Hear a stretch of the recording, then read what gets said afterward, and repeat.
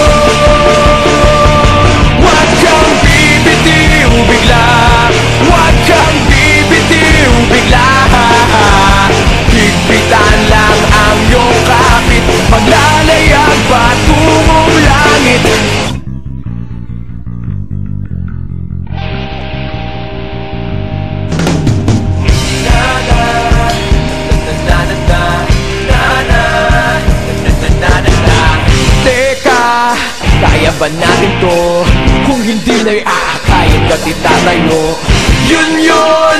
Kaya hanggang ngayon tuloy, tuloy, tuloy, tuloy, tuloy Huwag kang bibitiw bigla Huwag kang bibitiw bigla Higpitan lang ang iyong kapit Maglalaan